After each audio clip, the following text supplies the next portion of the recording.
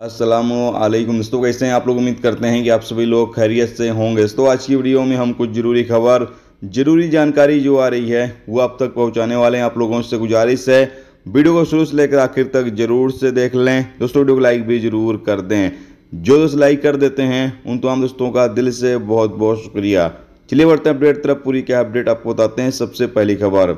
Saudi ministry of हज और उम्र की तरफ़ से अपडेट जारी करके बताया गया है कि दो जून से जो लोग बिना परमिट के हज करने की कोशिश करते हुए पकड़े जाएँगे, उनके ऊपर दस हज़ार रियाल का जुर्माना और जेल की सज़ा दी जाएगी और गैर मुल्की हुआ तो सऊदी अरब से डिपोर्ट कर दिया जाएगा दोबारा।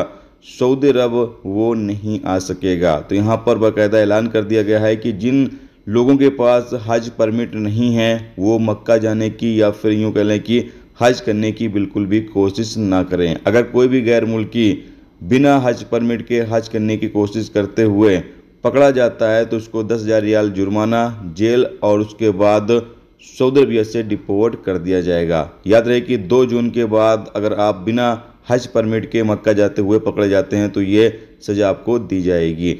इसके साथ ही सऊदी हज और उम्र मिनिस्ट्री की तरफ़ से ये भी ऐलान किया गया है कि जो भी सऊदी शहरी और गैर मुल्की हज सीज़न के दौरान काम करना चाहते हैं, वक्ती तौर के लिए काम करना चाहते हैं वो तमाम लोग इजार पोर्टल पर अपना रजिस्ट्रेशन कर सकते हैं, अपना सीवी सेंड कर सकते हैं।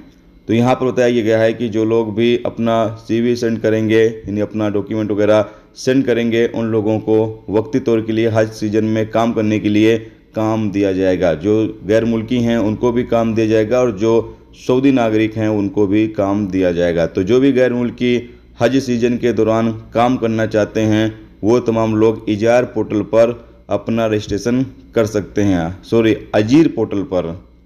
अजीर पोर्टल रजिस्ट्रेशन कर सकते हैं जो लोग हर सीज़न के दौरान काम करने के ख्वाहिशमंद हैं। इसके अलावा अगली अपडेट यह है कि सऊदी अरब के विसा गवर्नेट में एक, विसा गवर्नेट के एक इलाके में बाढ़ के चलते एक भाई और उसकी बहन बाढ़ में बह गए। बताया जा रहा है कि ये लोग तैर रहे थे, नहा रहे थे और पानी का बहाव ज़्यादा आया जिससे ये लोग बाढ़ के अंदर बह गए। याद रहे कि सऊदी अरब के अंदर अभी कुछ इलाकों में लगातार बारिश का सिलसिला जारी है और सऊदी सिविल डिफेंस की तरफ़ से लगातार कहा जा रहा है कि जिन इलाकों में पानी का बहाव ज़्यादा हो या फिर जिन रास्तों से, इलाकों से पानी ज़्यादा बह रहा है, उन रास्तों, उन इलाकों का बिल्कुल भी इस्तेमाल ना किया जाए। लेकिन फिर भी लोग एहतियात नहीं बरत रहे हैं, जिसके चलते यहाँ पर एक भाई और उसकी बहन बाढ़ में बह गए। इसके अलावा अगली अपडेट यह है कि एक वीडियो क्लिप सोशल मीडिया पर काफ़ी ज़्यादा वायरल हो रही है, जो कि सऊदी अरब की है और एक पाकिस्तानी शख्स, एक ट्रक चल रहा है और ट्रक के नीचे किस तरीके से वो सो रहा है, जैसे कि आप सामने स्क्रीन पर देख सकते हैं। ये वीडियो क्लिप काफ़ी ज़्यादा वायरल हो रही है, किसी ने बना ली इसकी वीडियो क्लिप जैसा कि आप देख पा रहे होंगे किस तरीके से बंदा बिंदास सो रहा है, ऐसा लगता है कि घर के घर के अंदर वो सो रहा है, इस तरीके से बिंदास बंदा ट्रक के अंदर सो रहा है। और थोड़ा सा भी इधर उधर पलटी खाए तो हो सकता है नीचे गिर जाए, लेकिन उसको बिल्कुल भी खौफ नहीं है। इसके साथ ही एक और वीडियो क्लिप सोशल मीडिया पर वायरल हुई, जिसमें देखा गया कि एक शख्स, डिलीवरी बॉय, एक बिल्ली का बच्चा सिग्नल पर खड़ी गाड़ी के नीचे आकर रुक जाता है। वो कोशिश करने लगता है कि उसको पकड़कर साइड कर दिया जाए। क्योंकि जब गाड़ी चलेगी तो हो सकता है गाड़ी के नीचे बिल्ली का बच्चा आ जाए और वो मर जाए। जब ये ये काम कर रहा होता है तो कोई इसकी वीडियो क्लिप बनाकर और सोशल मीडिया पर वायरल कर देता है। लोग इस वीडियो क्लिप को काफ़ी ज़्यादा पसंद कर रहे हैं। आप इस बारे में क्या कहना चाहते हैं अपनी राय का इजहार कमेंट बॉक्स में ज़रूर करें।